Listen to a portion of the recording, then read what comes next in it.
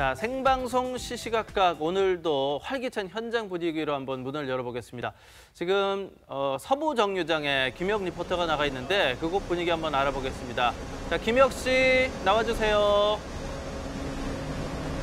뒤로 버스도 보이네요. 안녕하십니까 생생한 곳 뜨거운 현장이라면 어디든지 달려가는 LTE 현장 연결 김혁입니다. 아, 날씨가 굉장히 덥습니다. 지금 이 시간도 햇볕은 쨍쨍한데요. 이 햇빛이 바삭바삭할 정도입니다. 이럴 때 제일 하고 싶은 건 집으로 가는 길 아니겠습니까? 혹은 여행을 떠나든지. 그러면 어디 가야 되겠습니까? 바로 시외버스 터미널 아니겠습니까? 대구에서 가장 오래된 터미널 바로 서부정류장에 나와 있습니다.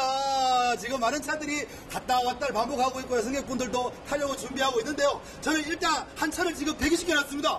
통영하는 지- 지금 여기 타는 곳이에요. 일단 기사분 한번 만나볼게요. 가셔야 되니까요. 아, 안녕하세요. 안녕하세요. 네, 안녕하세요. 안녕하세요. 안녕하세요. 아, 네. 딱 출발을 준비하고 계셨습니다. 네, 네. 지금 통영 가시는 거죠? 네네. 아, 그렇습니다. 본인 소개 좀 부탁드릴게요. 예, 대구 통영항을 운행하는 승무원 김종수입니다. 아, 선생님. 그래서- 근데 이번에 그 통영 가는데 보통 몇 시간 정도 걸리나요? 한 2시간 소요 시간이 10분에서 2시간 정도. 아, 두 시간 정도로 걸린다고요? 네. 그런데 통영을 왔다 갔다 한 지는 한 뭐, 5, 6년 되십니까? 아니, 지금 저는 뭐 한 25년 정도. 25년을 운행하신 거예요? 그럼 서부정류장이 25년 동안 왔다 갔다 하신 거잖아요? 네, 네, 그렇죠. 야, 그럼 25년 전과 지금의 서부정류장은 많이 다르실 것 같은데? 한 많이 다르죠. 어떻게 달라요? 지금 이 옛날에는 서부 정류장이 네네. 서부 경남권으로 모든 노선이 설치되어 있었는데 지금은 서울, 강원도, 뭐 우와. 인천공항, 광주 뭐 없는 데가 없이 다 생기가 있는 그게 이제 그때하고 지금의 차이입니다. 아, 그러면 대구 시민들은 서부 정류장 오면 그냥 다 갈 수 있네요? 네? 다 갈 수 있습니다. 아, 그렇군요. 지금 출발했는데 저 때문에 좀 늦으신 거죠? 네, 네, 그렇죠. 아, 그렇군요. 근데 요즘에 보면요. 졸음 운전 때문에 좀 사고가 많이 일어난다는 매체 속보를 접- 접합니다.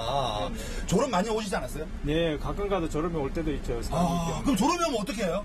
아, 저희들은 회사에서도 안전교육을 필히 받고 있기 때문에 아. 졸음을 대처하는 방법을 항상 하고 있습니다. 자, 그렇게 대체해도, 대체해도 너무 졸음이 온다. 그럼 어떻게 해야 돼요? 아, 그러면 저희들은 승객분들한테 양해를 구하고 차량에 무슨 이상이라든지 이런 걸 해가지고 네. 잠시 내려갔다 바람을 쐬고 네. 다시 승무하게 됩니다. 아, 그러면 안전한 곳에 주정차 하시는 네, 거죠? 그렇죠. 야, 그러고 다시 운전하시고. 네, 네. 아, 자제분 어떻게 계십니까? 아, 지금 둘이 있습니다. 아, 두 아들 다 있어요? 네. 이왕 TV 앞에 나오셨는데, 카메라 앞에 네. 서셨는데, 자, 아들에게 한 말씀 평소에 못한 이야기 있다면 한번 할 기회를 드리도록 하겠습니다. 아, 아들도 건강하고 아버지는 건강히 잘 있으니까 그리고 돈 열심히 벌어가지고 아버지 좀 용돈도 좀 많이 주고 그렇죠. 용돈이 최고 아니겠습니까?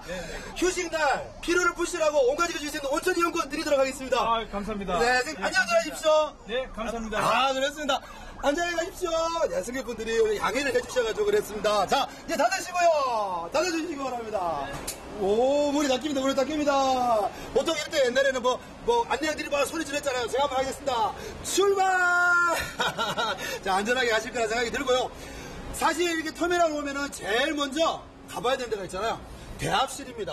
지금 대합실 안쪽으로 한번 들어가 볼까 싶은데요. 많은 분들이 버스를 타려고 준비하고 계시고 승차권도 구매하고 계시는데요. 야 로비죠. 대합실하는 지금 많은 사람들이 지금 대기하고 있으십니다. 야 여기다 들어오면은 제일 먼저 저는 가지고 있는 추억이 있어요. 무엇이냐? 옛날에 가락국수 먹던 아 최고의 맛집 아닌가 그런 생각이 드는데 가끔도 가락국수 먹고 싶으면 이곳에 찾아오기도 합니다. 자 진짜 보니까요 지금 6시 12분 정확한 시계를 알려주고 있기 때문에 생방송 도중인데요. 와, 광양 여수에서 그거 김해까지 갈 수 있습니다. 그런다나 작년 8월 1일부터는 인천공항까지 갈 수 있다고 합니다. 물론 구미를 경유하니까요. 앞에 끊으신 분 두 분 계시고 지금 많은 분들이 아 저쪽에 타는 데도 있고 뒤쪽에서 타는 데가 있는데요. 통영 가려면은 차비 어떻게 돼요? 13,300원입니다. 아 이거 스피커가 위에 있네요. 요즘 이용하시는 분 많은가요? 네, 있습니다. 주말에 많고요. 아, 주말에 되게 많으시고 안 피곤하세요? 네, 괜찮습니다. 괜찮습니까? 어, 어, 미소가 굉장히 예쁘세요. 맞습니다. 야, 그래서 수고하시고요. 예, 그렇습니다. 굉장히 맞습니다. 자, 대합실에 많은 분들이 계시고 젊은 친구들 여행을 하시는 분도 있고 집으로 가시는 분들도 보이는데요. 한 분이 제 눈에 밟히는 분 한 분 있습니다. 어, 이거 슬, 좀, 조금 짠해 오는 기분이 좀 드는데요. 안녕하세요. 아, 잠시만 좀 일어나 주시겠습니까? 아, 잠시만요. 군인입니다. 지금 어디 가시는 분이에요? 창녕. 창녕. 네, 창녕. 부대가 창녕인가요? 네. 그럼 지금 복귀하는 거예요? 네. 어, 그래서 본인 소개 참 간단하게 좀 부탁드릴게요. 어, 창녕에 근무하고 있는 네. 네. 이름은 손현두 아, 이거 적혀 있습니다. 이렇게. 자, 자, 적혀 있고. 그럼, 이- 그럼 동생인가요? 애인인가요? 네, 애인이죠. 애인 맞습니까? 자, 문제 내도록 하겠습니다. 두 분 사귀신 지는 얼마나 됐습니까?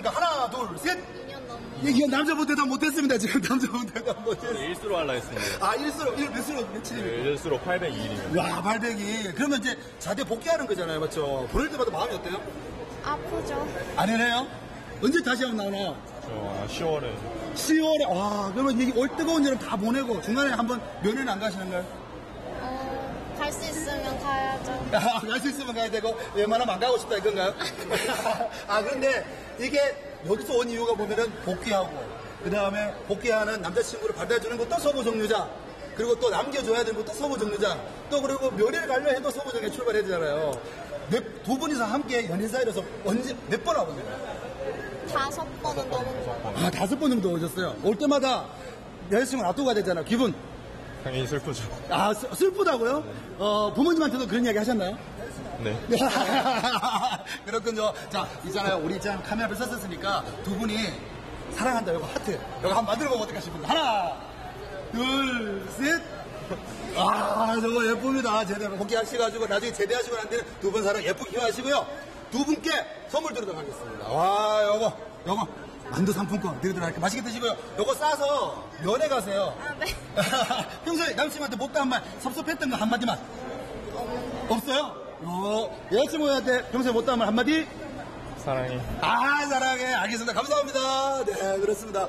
자, 이곳에 보면요. 쟤들 또 이런 데 오면은 또 그런 게 있잖아요. 왜?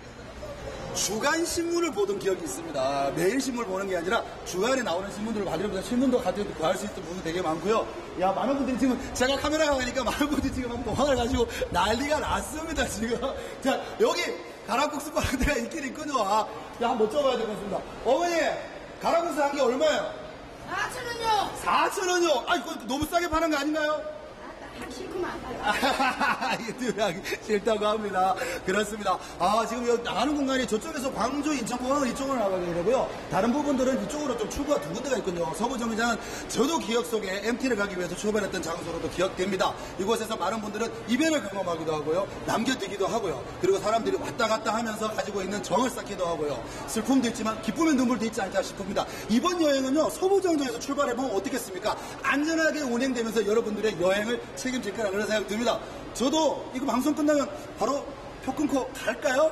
서장국 씨는 어떻게 생각하십니까? 지금까지 김혜기였습니다.